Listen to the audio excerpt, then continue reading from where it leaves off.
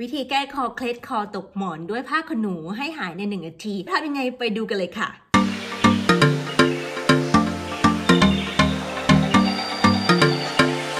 น่าเชื่อว่าหลาย ๆ คนนะคะ น่าจะมีประสบการณ์นี้มาแล้วเกือบทุกคนนะคะ ซึ่งบ้านเราก็จะเรียกว่าคอตกหมอนนะคะ จริง ๆ มันอาจจะไม่ใช่คอตกหมอนก็ได้นะคะ มันอาจจะเกิดจากสาเหตุอื่น ซึ่งคนที่เริ่มออกกำลังกายใหม่ ๆ นะคะ ก็อาจจะมีปัญหานี้บ่อยมากนะคะ หลังจากที่ตื่นขึ้นมาเราก็แบบว่าหันคอไม่ได้นะคะ ก็อาจจะคิดว่า เออเราตกหมอนหรือเปล่า จริง ๆ อาจจะเป็นผลมาจากการที่ออกกำลังกายไม่ถูกต้อง หรือแม้แต่การนอนนะคะ เราไม่ได้ตกหมอนนะคะ แต่ว่าเรานอนผิดท่าผิดรูปแบบนะคะ ก็อาจจะทำให้เส้นกล้ามเนื้อของเราบริเวณคอนี้นะคะ สามารถที่จะเคล็ดได้นะคะ วันนี้วินามีวิธีการแก้คอเคล็ดนะคะมาฝาก ซึ่งวิธีนี้นะคะเป็นวิธีที่นักกีฬาหรือว่านักกายภาพบำบัดใช้จริงนะคะ แล้วก็ตัววินาเองก็ใช้จริง แล้วก็ได้ผลคือทำทุกครั้งก็ได้ผลทุกครั้งแล้วก็ลูกค้าที่มาเทรนกับเรานะคะ คือถ้าใครมาถึงหันคอไม่ได้คือใช้เทคนิคนี้นะคะ หายภายใน 1 ครั้งหรือว่าหายภายใน 1 วันแค่นั้นเองนะคะเดี๋ยวไปดูกันเลยค่ะว่าทำยังไงนะคะ สิ่งแรกเลยที่เพื่อนๆจะต้องมีเป็นผ้าขนหนูแบบสำหรับเช็ดหน้านะคะ ไม่ใช่แบบเช็ดตัวนะคะ เพราะว่าแบบนี้มันจะไม่หนานะคะ จะบางๆ แล้วก็จะนิ่มๆนะคะ ซึ่งถ้าใช้แบบผ้าขนหนูเช็ดตัวนะคะ มันจะหนาเกินไป ซึ่งจะไม่ได้ผลนะคะ ให้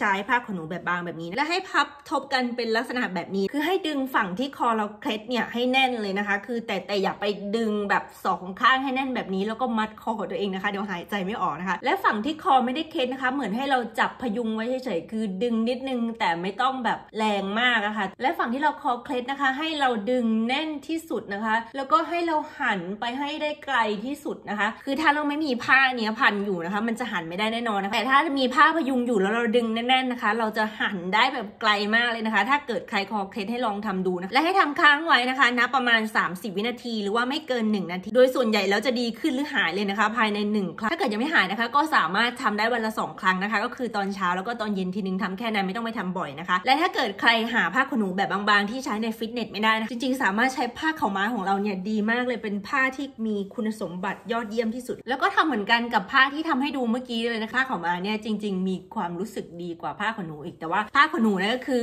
เป็นวิธีที่ฝรั่งเขาใช้นะคะเพราะว่าเขาไม่มีผ้านี้นะคะ อย่าลืมนะคะ ถ้าใครตื่นขึ้นมาตอนเช้าแล้วรู้สึกว่าคอเคล็ดหรือคอตกหมอนนะคะ ก็สามารถนำวิธีนี้ไปใช้ได้วิน่ารับรองว่าจะหายใน 1 วัน แล้วก็สามารถที่จะหันซ้ายหันขวาได้เลยทีเดียวค่ะ ยังไงวิน่าก็ฝากเพื่อนๆกดไลค์กดแชร์กด subscribe แล้วก็แชร์ไปถึงเพื่อนๆคนอื่นนะคะ ที่อาจจะมีปัญหาคอเคล็ดอยู่บ่อยๆนะคะแล้วเดี๋ยววิน่าจะนำคลิปวิดีโอดีๆ เรื่องสุขภาพมาฝากกับเพื่อนๆอีก ไว้เจอกันค่ะ